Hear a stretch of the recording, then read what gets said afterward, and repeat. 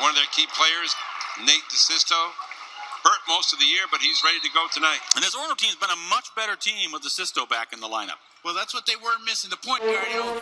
Uh-oh, man. Uh-oh.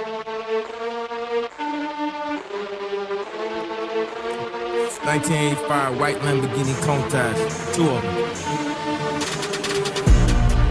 I need a slow motion video right now. Cause I'm moving in slow motion, slow motion. Feeling like Hype Williams shooting and shooting and cooting, cooting. Hey, hey, hey. I need a slow motion video right